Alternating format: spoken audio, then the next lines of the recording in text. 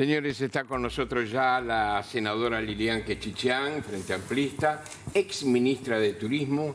¿Qué tal, Lilian? ¿Contenta? ¿Contenta? Un gusto, sí, sí, sí. ¿Eh? Hoy los Violeta estamos, respiramos un poco. Sí, ya veo aquí en la mesa está, Sí, se sí, están algarabía. compartiendo Sí, sí, energías sí, sí, y... sí. Mirá que va. Voy, voy a la cancha. Sí, pero por Sí, sí, supuesto. voy, voy, por supuesto, pero he encontrado canchas Sí, sí, que sí. no son fáciles. Bastante difícil. Sí, siempre hay. Sí, ¿y con buen comportamiento o es de lo No, que...? buen comportamiento. Sí, sí, buen Sí. comportamiento. No, buen comportamiento. Está sí. muy bien, Sí, eso está muy sí. bien. Hay varios, hay muchos. Lalo Fernández, bueno, no quiero hacer la lista.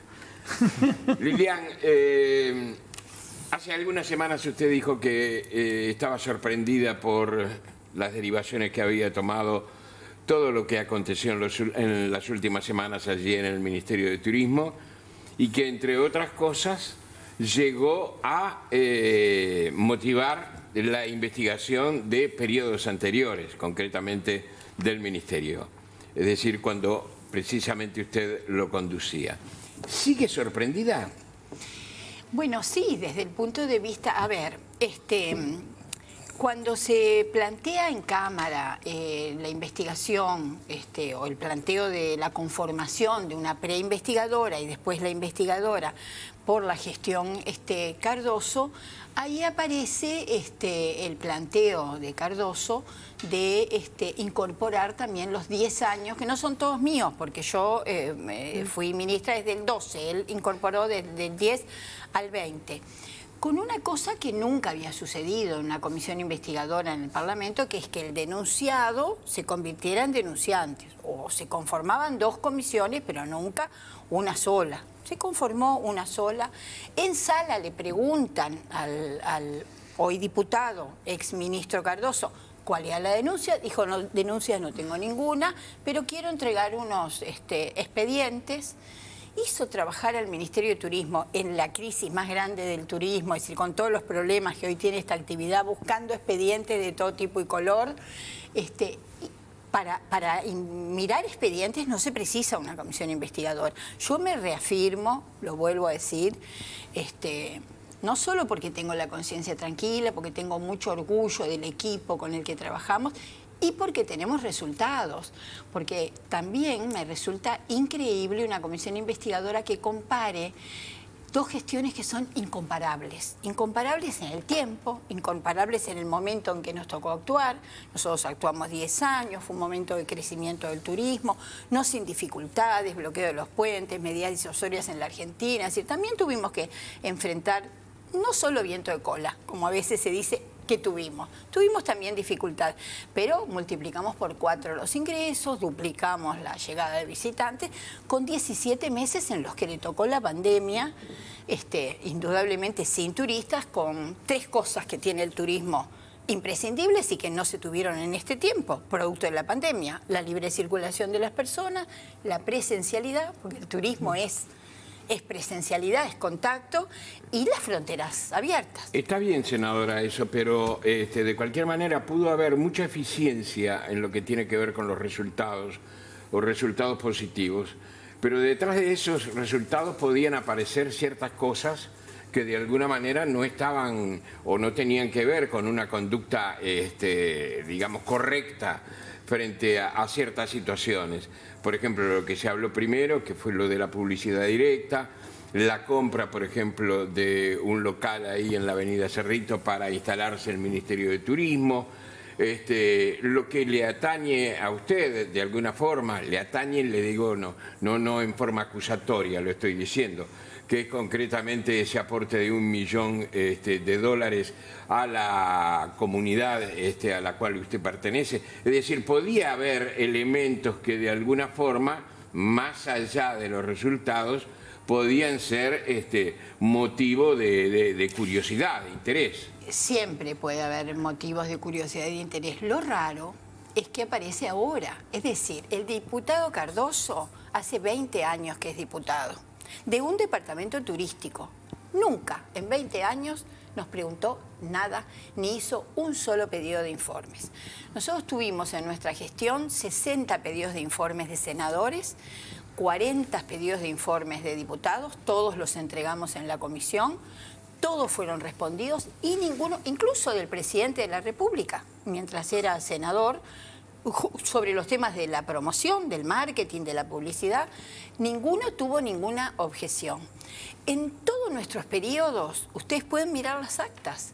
Nosotros fuimos a las rendiciones de cuentas y en todas nuestras rendiciones de cuentas nosotros, este, lo digo con modestia, pero hay que mirar las actas, salíamos felicitados por la oposición por el senador Penadez, por el senador Heber, por el, por el diputado este, Sadjian. Están las actas. Entonces, no se, se enojó con ustedes. ¿eh? Bueno, pero lean las actas. Yo no voy Le a dijo discutir. que no lo, no lo Sí, exactamente. Bueno, Sí. no sé de qué barro habla. No, se me refiere siento a lo, muy de la, limpia. a, la de la, Sí, a lo de este, la compra del, Sí, del- pero de la sede, ¿no? No, y a las felicitaciones. En las actas, Sí, sí, claro. Había. Para, para la gente, en, en la comisión este, hay un intercambio con Cardoso y, y la propia eh, que Chichán dice, el, el ex ministro de Turismo, Pedro Bordaberry, me felicitó por este, la adquisición del nuevo edificio por la forma en que, que se, se, digamos, se negoció. Cuando no, Y, no, y, y Bordaberry respondió, no, yo le felicité por haber gener- generado un buen precio, no por la un precio adquisición del- menor al, al de no la... por la adquisición de- del, del- Bueno, de la- lean- del lugar que le parecía innecesario. Lean las actas. En las actas nos felicita, no solo por el precio, sino por la compra. Pero.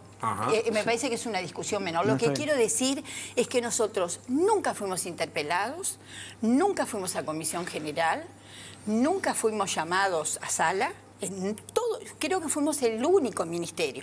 Por eso sí me resulta sorprendente que ahora aparezcan estas suspicacias. Pero así como fui muy crítica de la conformación de la comisión, cuando se conformó dije, acá estoy, a las órdenes, porque tengo mucho respeto por el Parlamento, soy miembro del Claro. Parlamento, lo fui antes como diputada, antes de ser eh, subsecretaria y soy ahora senadora, y estuve a las órdenes para contestar todo lo contestable. Senadora, este, acá el tema eje eh, de las acusaciones contra Cardoso en particular Sí, sí. fueron las compras directas, que lo denuncia un, un jerarca también de, de- de la Intendencia, propio- ¿no? de la- del ministerio. del ministerio actual. De su propio partido. Sí, de su Sí. propio partido, además, Sí. ¿no?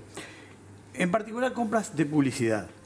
Entonces, mi pregunta un poco es, ¿se hacía...? Porque él dice, nosotros seguimos haciendo lo mismo que antes. Y usted dijo en una declaración que una cosa es la herramienta textual y otra es Sí. cómo se utilizó. Hoy Sí. dejamos en claro que nosotros hacíamos compras con asesoramiento técnico. Entonces, le quería pedir si Con me podía explicar un poco más si el problema es las compras directas o es eh, que se hicieron sin criterio. ¿Cu- ¿Cuál es la...? No, yo creo, eh, primero, desde antes de conformar la comisión investigadora y cuando se empezó a hablar de compras directas, nosotros salimos a decir que sí, el Ministerio de Turismo tenía compras directas.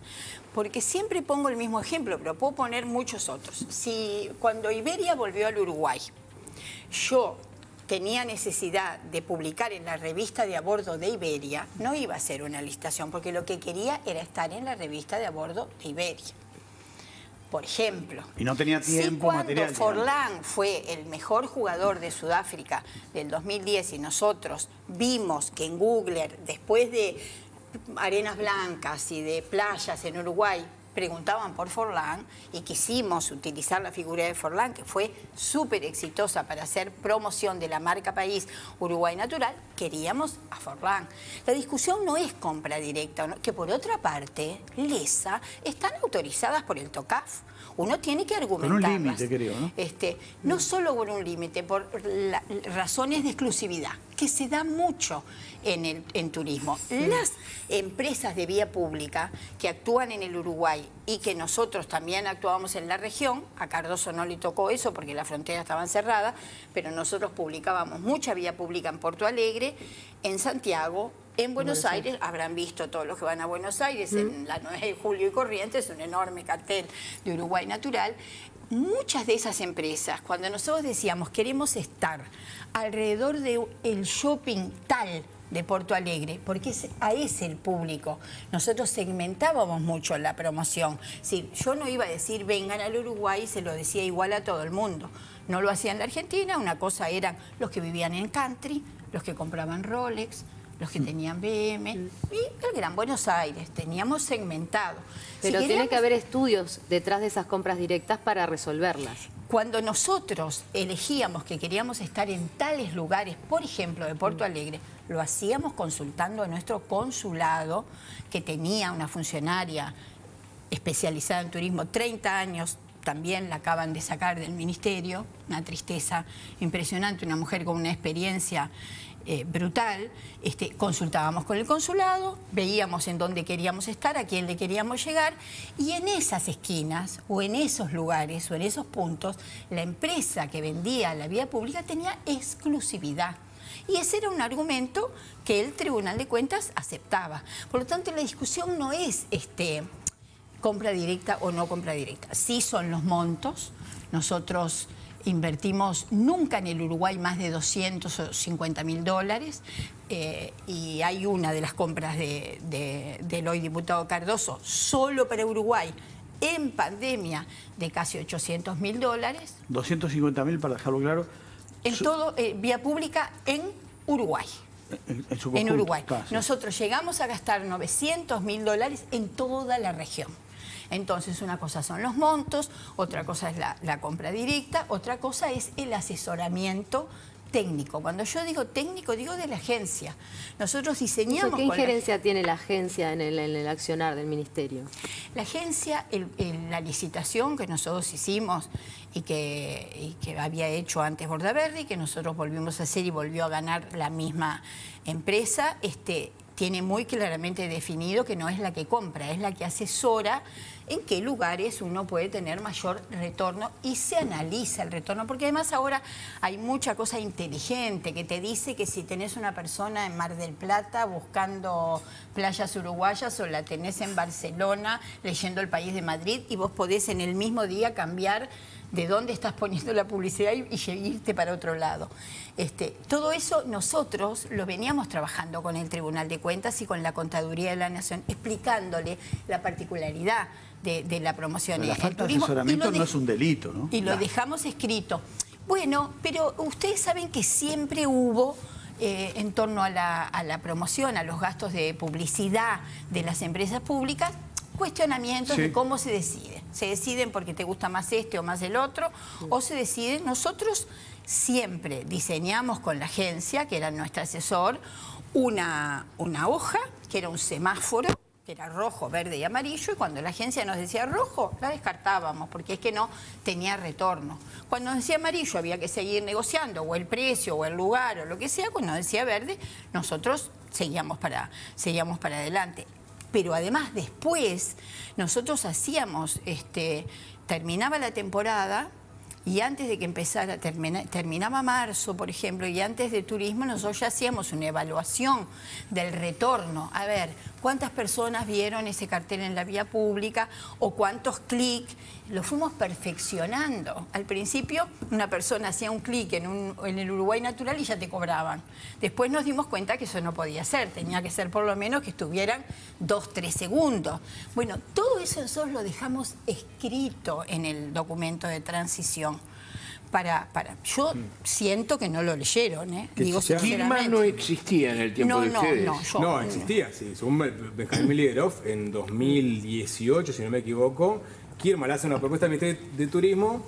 El Ministerio de Turismo entiende que eh, necesitaban más información, le mandan una serie de preguntas, Kirma nunca más respondió. O sea, Kirma existía. Pero existiría, pero nunca jamás hizo un negocio con nuestro Nunca hizo un negocio, pero yo, Kirma existía. Después eso lo dijo el propio Existía Kirma y existían muchas otras mm. empresas. No, bueno, porque en, torno a Kirma se ha, digamos, claro, lo que buena parte de, digamos, del rum rum que se generó en torno a, la gestión de Cardoso fue justamente la presentación por parte de este asesor honorario, Elvio Rodríguez, de una empresa que empezó a generar muchas dudas y cada vez que aparece más información aparecían más dudas. ¿Qué es Kirma, esta empresa? Sí, sí, sin duda. Eh, que fue un poco, digamos, el centro de la comisión, por más que la comisión originalmente nace sobre todo por la contratación de vía pública de la empresa Netcom. Sí, por las denuncias de Pérez Banchero, que era el director de turismo. Sí, es cierto. Eh, pero digamos que Kirma se convirtió en la, en la vedette de la comisión, por decirlo de alguna forma, Y bueno, Cuando por, eh, el la, por la vidriosidad con la que fueron apareciendo. Pero Kirma ya existía, a, a eso voy. Cuando decía eh, que Kirma no existía, Kirma existía. No, yo no dije no existía, con nosotros no hizo ningún Con usted no hizo negocio. negocio, sí, No, no, sí que hizo, no sí hizo un existía en ese esquema. Eh, eh, en ah, ese esquema. La entendí, la entendí perfecto. Pero la hablando de, de- de Pérez Banchero, ¿no? Porque todo salta porque hay una, denuncia a la interna del ministerio de Pérez Banchero contra el, el, el modus operandi de las compras de- del ministro Cardoso y su entorno. Eh, y ahí el, el subsecretario Remo Monselio sale también a, a pegarle a, a- a Pérez Banchero, ¿no?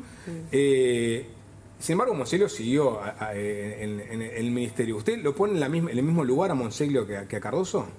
No, yo creo que eso lo tiene que definir el presidente. Si el presidente lo mantuvo, que es el que pone o saca a ministros y subsecretarios. Pero usted- ¿usted será qué piensa que, de Monseglio? Este, no, yo no, no, no, no voy a opinar sobre Monseglio. Él sí hizo una defensa muy fuerte de Cardoso. Eso es una realidad.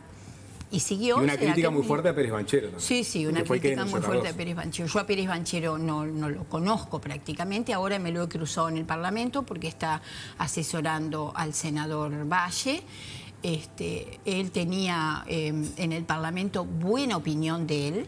Él fue secretario de la Cámara de Diputados y todos los diputados, incluso Alejandro Sánchez, con el que yo conversé, porque él fue presidente de la Cámara, me dijo que siempre fue una persona con mucha contracción al trabajo y, y que se había comportado siempre muy bien. Hasta ahí. Le preguntaba a llegaba- porque lo ha tratado como, como ministra de Turismo, obviamente lo ha tratado mucho porque Monselio es parte del ambiente del turismo. ¿no? Bueno, sí, es un hombre que ha estado vinculado a la hotelería, sí, nos hemos tratado siempre. Pero no este, tiene una opinión mucho. formada sobre su actuación. No, no, no la voy a dar.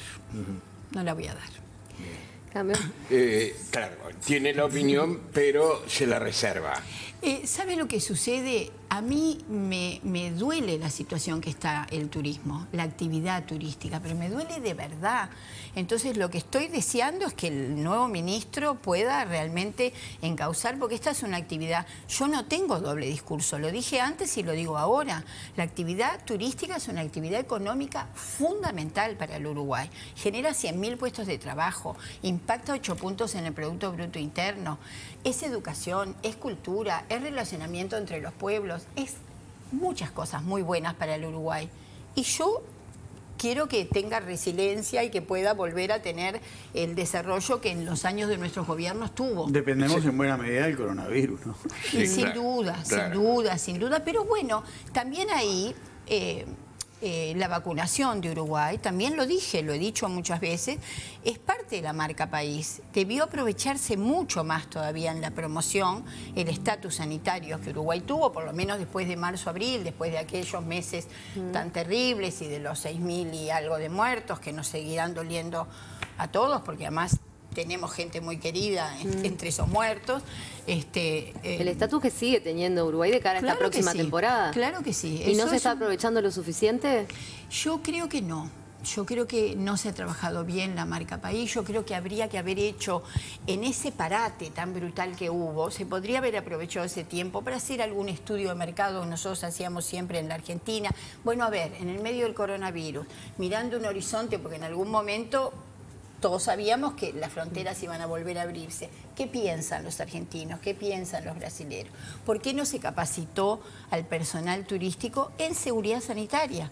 Yo creo que en el turismo que se viene, la calidad sanitaria, no solo de los países, sino de cómo te atienden, las infraestructuras. Era difícil hacer estudios de opinión en países como Argentina que estaban totalmente cerrados. Sí, eh, no, no eran, no eran, no eran difíciles, se hacían de- del presidente, se hacían de los ministros, se hacían de, de todo, se, podía se podía haber hecho porque agarraron como las peras. Porque hay, y bueno, esa es otra, Sí, es otra pero- valoración. pero ahora que Nosotros estuvo mejor- nos sirvieron siempre mucho los Claro. estudios de opinión.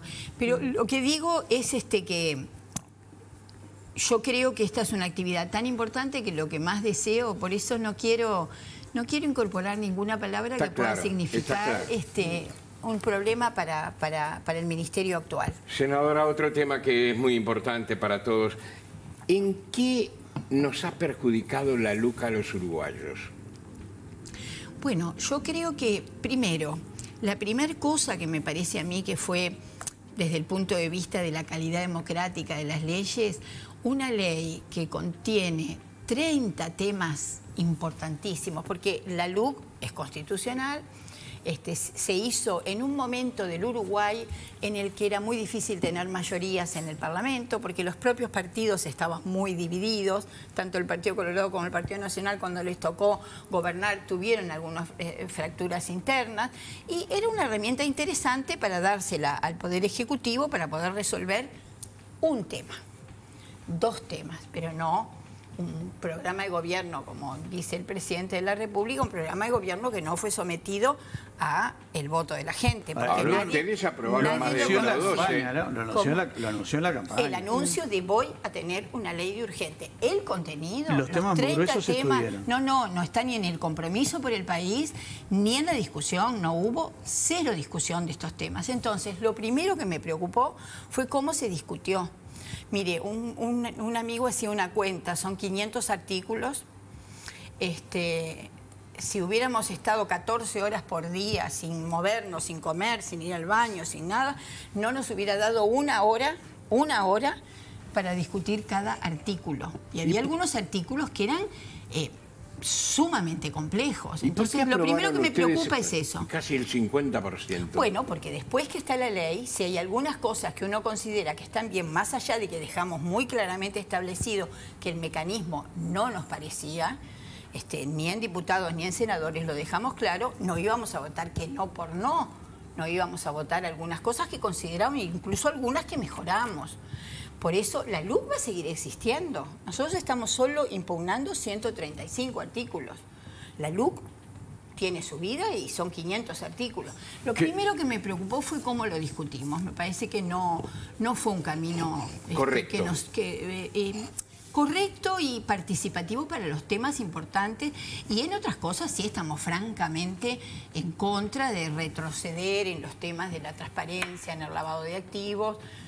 Estamos viendo, ¿no? Estamos viendo el continente, estamos viendo el mundo, estamos viendo el narcotráfico, estamos viendo una cantidad de cosas que esas ¿Y, herramientas y en qué retrocede la LUC en eso? en que hoy usted puede venir con una valijita de, de cualquier parte del mundo, la pone arriba de este escritorio con 100 mil dólares, Ah. nadie le pregunta nada se- y nadie tiene que se, seguimiento que se de esa sube el plata. límite a 100 mil, ese es el Es, es tremendo. Yo puedo creer que los 5 mil que teníamos nosotros era poco. Se podía haber subido, nunca a 100 mil. Es decir, Bueno. uno puede comprar un auto, Hubo, capaz que de hubo- alta hubo gama. casos con los 5.000 de límite, no, no quiero nombrar nombres porque no quiero ganarme unos juicios, pero hubo casos escandalosos de lavado de dinero en el Uruguay durante todo ese periodo sin... No, sé, no es necesario No sé a depositarlos qué te en un banco. referís, no sé. Pero bueno, capaz que estás hubo hablando de procesada, Piriápolis. Capaz en- que- entre otras cosas, pero un no- turco. justamente no había ley de inclusión financiera. Ese señor venía con la plata en No, la valija Siguió. y la guardaba en su casa de Playa Hermosa. No, siguió. Es todo lo contrario de lo que estás diciendo. No, siguió. No, cuando Eh, y hubo una inspección empezó en una la caja de inclusión financiera, no. se lo pudo detectar. Qué autos compraba, cómo los compraba, porque ya no se podían hacer las transacciones directas que hizo durante muchos años. Pero esa es una No, está bien, hubo muchos. eh, Pero no sí. importa, digamos que está bien. O sea, lo que, Y lavado, Yo lo que le lavado preguntaba es el cuestionamiento de los 100 mil dólares. En muchas partes del mundo sigue habiendo, y en el Uruguay también, entre otras cosas, hoy, hoy hay una preocupación grande del propio CHEDIAC, que está al frente hoy de, de- de- de- de la- del organismo que se dedica a eso, sí. eh, la antilava- a la oficina antilavado, de las pocas denuncias que hay, que, que ustedes saben que hay algunas, las inmobiliarias, los escribanos, este, obligados a, a- a denunciar y tenemos una baja de denuncias muy grande. Eso nos preocupa enormemente y yo creo que nos perjudica. Y eso que es Bien. complicado. Sí, no. porque lo de los 100 mil dólares, eh, las casas valen más que eso. Entonces, Sí. Es, como, Pero es, lo como, hablamos- es como el arte. Dice, ¿cuánto vale un cuadro? Lo, hablamos en otra oportunidad con la Claro. senadora. Está bien, Lilian. Con mucho Este, gusto. disfrute de la victoria de Defensor. Siga preparándose para las elecciones del Frente Amplio. Sí, el 5 Casi ni de pudimos diciembre. Este, que no hemos podido hablar de eso. Este, nos Nosotros vemos- votamos la lista 95. Y Muy 195. bien. Pasó el chivo. Pasaremos- pasaremos la factura. Fernando Pereira. Asamblea Uruguay, lo que era Sí, Encuentro sí, Progresista. sí. Es eh, parte del proceso este de autocrítica que hicimos. Nosotros escuchamos mucho a la gente, la gente nos criticó mucho las 70 listas, la, la atomización. Nos van a matar. Nos juntamos. Nos No van a matar, maten. nos van a matar. Gracias. Lilian. Nos vemos, nos vemos el jueves. El jueves. eh, Nos vemos el jueves. eh, chicos, ¿les parece Chao, bien? chao. Que tengan buenas noches. Chau, chau.